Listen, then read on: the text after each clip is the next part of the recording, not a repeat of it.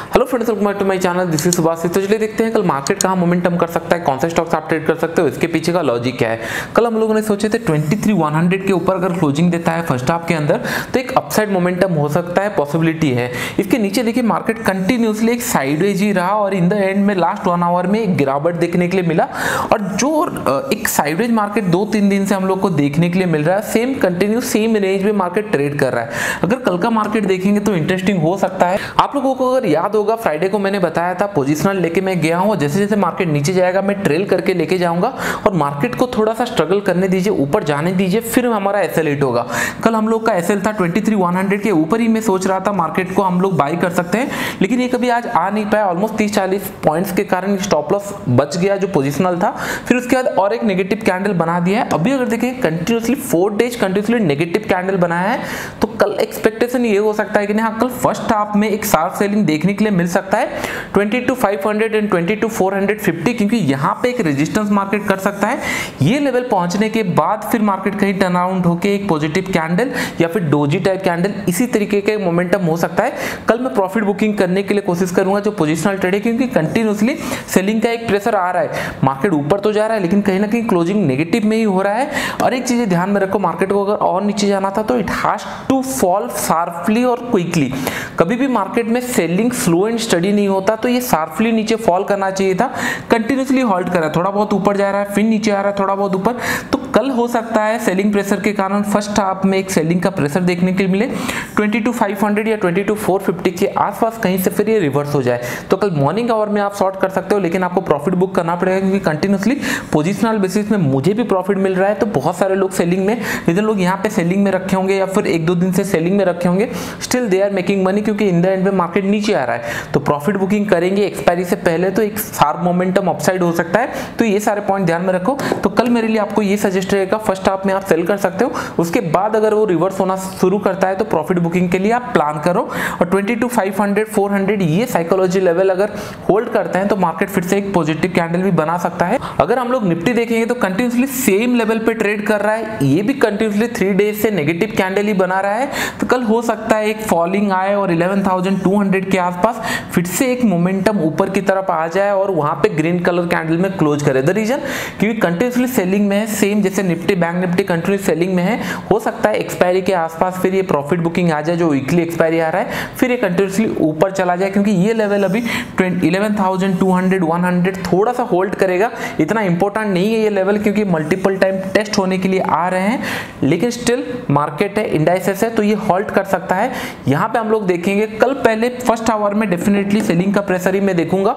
उसके बाद ही फिर हम लोग बाइंग के लिए सो सकते हैं। मार्केट जब टर्न अराउंड हो रहा होगा क्योंकि आज का जो क्लोजिंग हुआ है लास्ट आवर में वो नेगेटिव प्रेशर में हुआ है तो सेलिंग के लिए पहले प्लान होगा, फिर उसके बाद। अगर गैप डाउन खुल जाता है going to wait for a price action let say gap down अगर खुल जाता है 50 60 पॉइंट या 100 point will going to wait for price action अगर वहाँ से प्रॉफिट बुकिंग करके फिर नीचे आता है ट्रेड लाइन क्रॉस होते ही साथ आप ट्रेड कर सकते हो। अगर प्राइस एक्शन बना के नीचे आता है तो भी आप ट्रेड कर सकते हो। ये सारे पॉइंट ध्यान में रखो।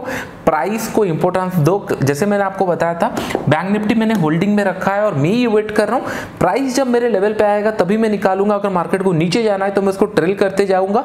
अगर मार्केट ऊपर जाएगा तो मुझे कंफर्मेशन हो गया एक रिट्रेसमेंट था, छोटा सा पुल बैक था, फिर उसके बाद ग्रीन कैंडल बना रहा, मेरा स्टॉप लॉस हिट हुआ। हर एक ट्रेड के पीछे आपका एक रीजन होना चाहिए, और उसके पीछे आपका स्टॉप लॉस रेडी है। लेट से आपने थाउज़ेंड में कोई स्टॉक सेल करने के लिए प्लान किया है। कोई तो रीजन होगा कि नहीं हाँ कोई ट्रेंड लाइन हो गया, या फिर कोई सपोर्ट रेजिस्टेंस देख के आपने ट्रेड किया, कोई इंडिकेटर के हिसाब से ट्रेड किया। थाउज़ेंड में अगर आप शॉर्ट कर रहे हो इट्स नेवर कंफर्मेशन कि नहीं हंड्रेड नीचे जाएगा। इसके लिए आपको एक शॉर्ट अगर किए हो थाउज़ेंड टेन का अगर आप स्टॉप लॉस लगाए हो, अगर ये स्टॉप लॉस निकल जाता है तो ये इस, ये ट्रेड लेने के पीछे का रीजन भी निकल जाता है। इमोशनल अटैचमेंट नहीं होना चाहिए। स्टॉप लॉस गया स्क्रीन बंद करो, फिर नेक्स्ट ट्रेड देखो। ये सारे पॉइंट आपको ध्यान में रखना। हम लोग बिज़नेस इसीलिए करते हैं क्योंकि पैसा घर लाना है। इसलिए नहीं कि हम लोग को बजाज फाइनेंस या बैंक निफ्टी बहुत पसंद है। कंटिन्यूसली उसको ट्रेड करते चले। और उसके पीछे का लॉजिक समझते चलो। कंटिन्यूस मोमेंटम हुआ है। कल अगर ये ट्वेंटी टू फाइव टच करता है, क्योंकि मेरा पोजिशन के हिसाब से मोर देन फाइव या सिक्स पॉइंट के आसपास प्रॉफिट मिल सकता है।